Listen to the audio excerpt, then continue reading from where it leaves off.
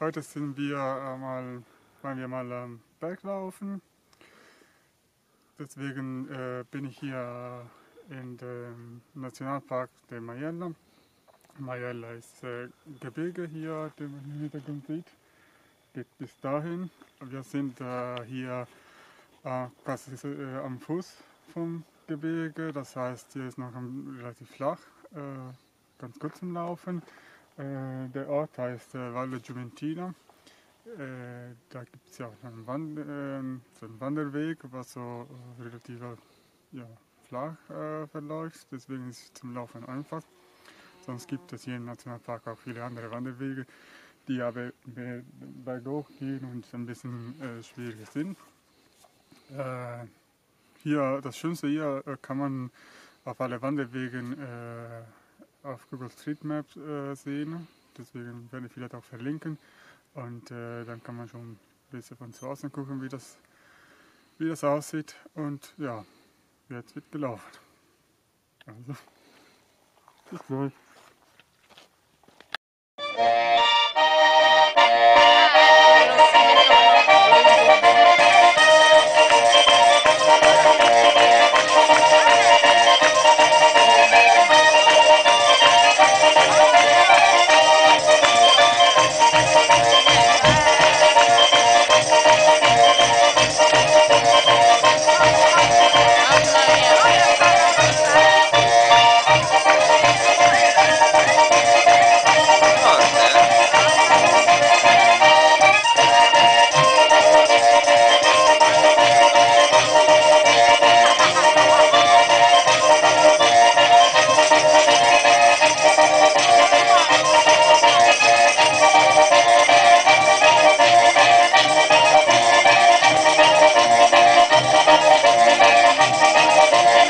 Also äh, flach war das Ganze gar nicht. Das war das erste Stück, das sieht man da. Äh, das, äh, es geht ja da hoch äh, diesen auf diesem Hügel, so da, diesen Weg da links, äh, da, bis dahinter, wo die Bäume sind. Und dann äh, geht es dann zurück. Danach ist es dann äh, Lagesteigung, aber berg, äh, bergab.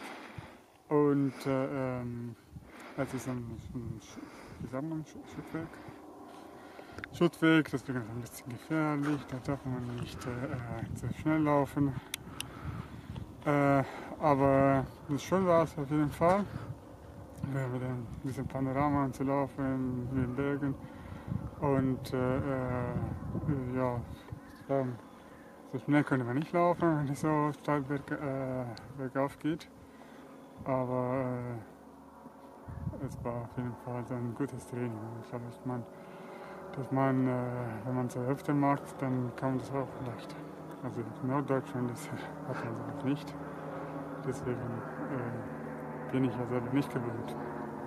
Aber ich glaube, es hat sich gelohnt und werde ich bestimmt dann bestimmt das mal wieder machen. So, ich werde mal äh, den, äh, die Strecke verlinken und äh, ein paar Fotos. Ja. Und das war's. Tschüss.